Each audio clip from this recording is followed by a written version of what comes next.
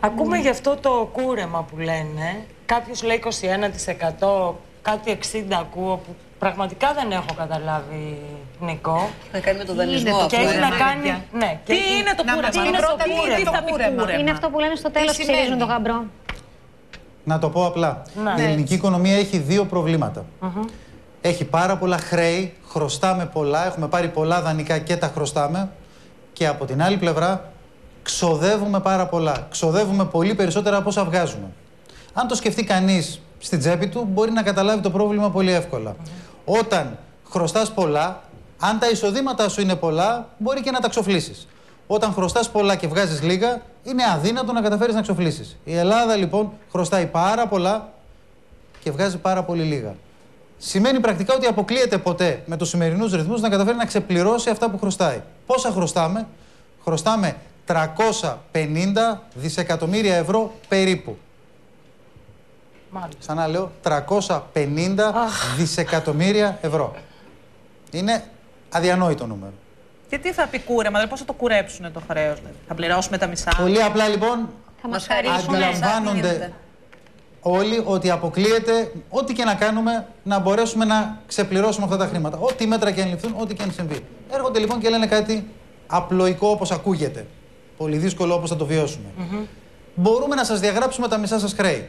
Πρακτικά. Επειδή δεν μπορείτε να τα πληρώσετε, σας τα σβήνουμε. Ναι. Χρωστάτε 350, θα χρωστάτε τα μισά. Καλό είναι αυτό. Τέλεια. λέει. Πολύ Σενάριο. καλό. Χαρά είναι. Μια Τέλειο. χαρά. Για αυτούς δεν έχει κόστος αυτό; Να μας Όπως χαρίσουν τα λοιπόν λέμε μισά. πάντα στην οικονομία, δεν υπάρχει τίποτα που λειτουργεί ως δράση και δεν παράγει μια αντίδραση. Η οικονομία είναι πάντα ένας κύκλος. Ό,τι γίνεται στο πάνω μέρος του έχει αντίκτυπο στο κάτω. Και αντίστροφα.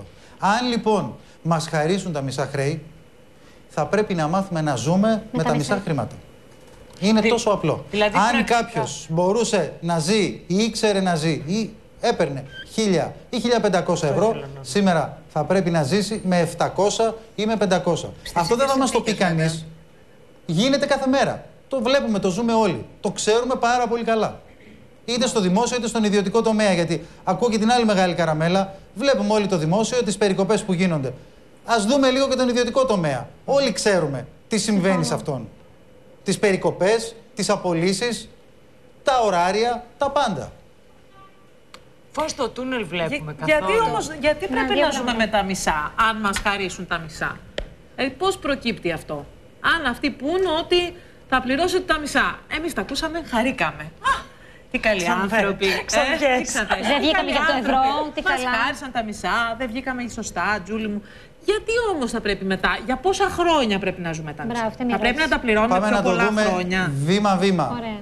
Υπάρχουν πολλά σενάρια. Δεν θέλω να σας κουράσω με λεπτομέρειες. Εξαρτάται αν αυτό θα είναι ένα γεγονός πιστοτικό, όπως λέγεται, αν θα είναι μια χρεοκοπία, αν θα μας πούν δηλαδή ότι σας διαγράφουμε τα χρέη, αν θα ζητήσουν τα χρέη αυτά να τα μεταθέσουμε σε χρόνο.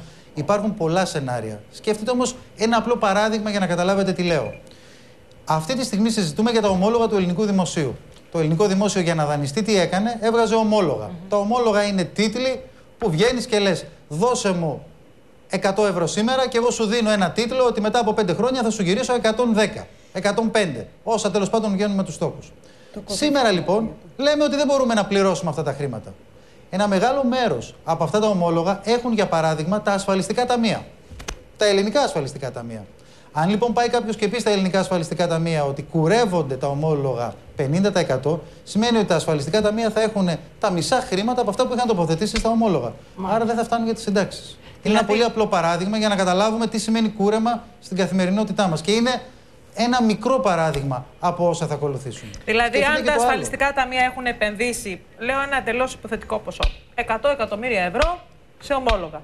Αν αυτά Όχι, είναι πολύ περισσότερα. Λέω εγώ ένα Είναι πολύ, πολύ περισσότερα. λέω ένα πολύ υποθετικό στρογγυλό ποσό για να καταλάβουμε. ναι. Νομίζω Θα ότι το μπορούσα να ΙΚΑ πω- μόνο έχει επενδύσει 2,5 δισεκατομμύρια. Ωραία. Αν Δυόμιση λοιπόν είναι δισεκατομμύρια. ένα δις, έτσι το ποσό, υποθετικά σε κάποιο ταμείο και το έχει επενδύσει Ναι. ομόλογο και αυτό κουρευτεί και γίνει μισό δις, μετά τα υπόλοιπα θα τους λείπουν για να πληρώσουν τις συντάξεις μας. Προφανώς.